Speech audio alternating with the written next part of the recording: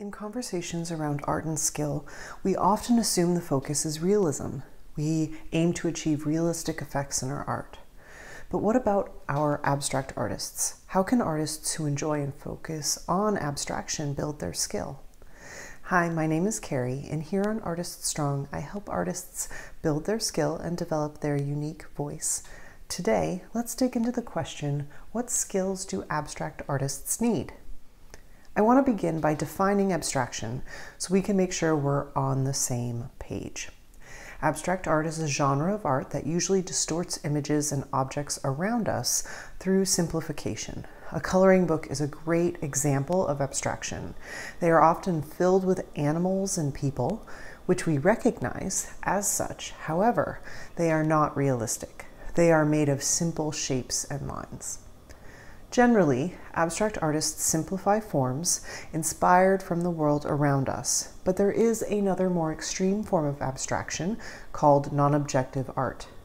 Non objective art is a kind of abstraction where there is no obvious or intended connection to images, objects, or forms from real life. Jackson Pollock and his drip paintings are a perfect example of this. So, if you don't really need image references and thus aren't concerned about things like likeness or proportion, what can an artist interested in abstraction focus on? One of the most important areas of focus for an abstract artist is their use of composition. Strong understanding of composition.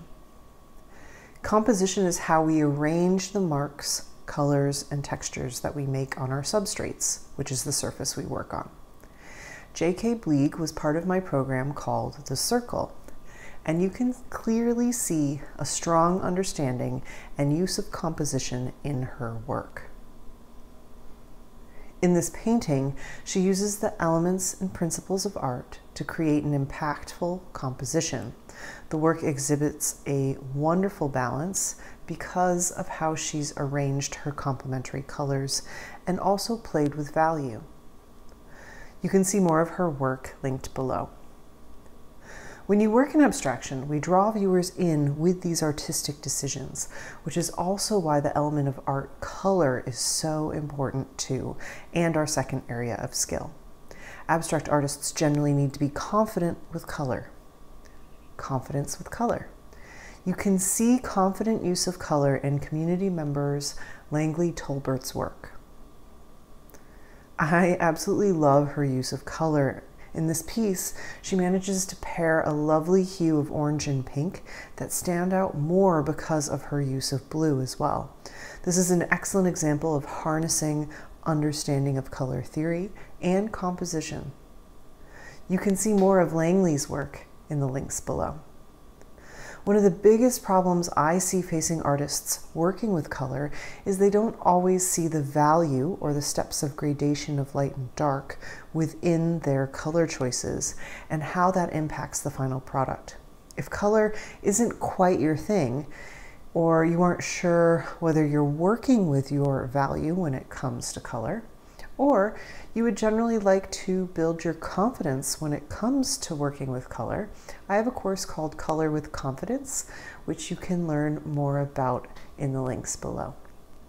My third suggested area of focus for abstract artists is a bigger one.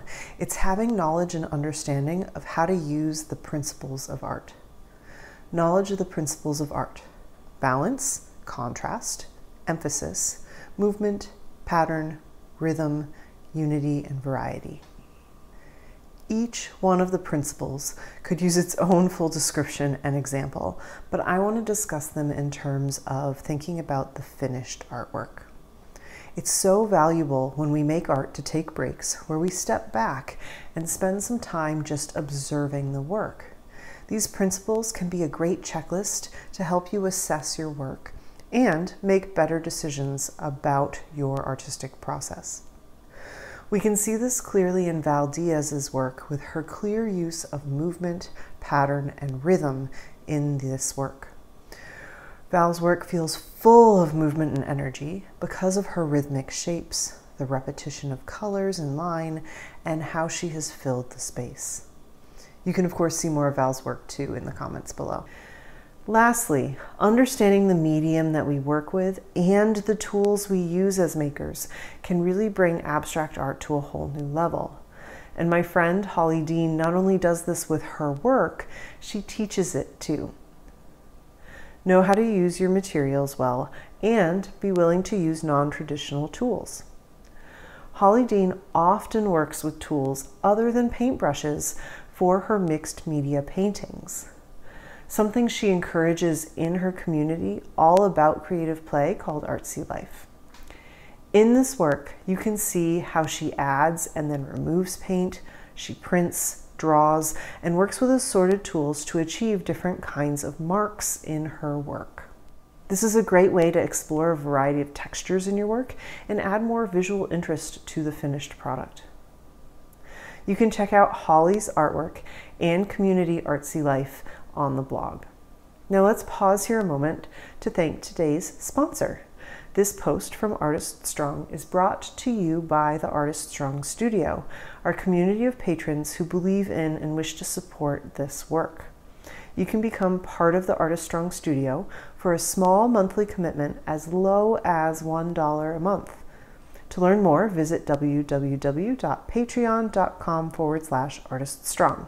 A special thank you to my current patrons. I could not do this work without your support. Now that you have four skills that are integral to an abstract artist's success, I encourage you to look at your art and reflect. Are you making the most out of these four skill areas? What could you explore more? Or is there another skill you find invaluable for your abstract process? Tell me more in the comments below. Thank you very much for watching, and I'll see you here next time on Artist Strong.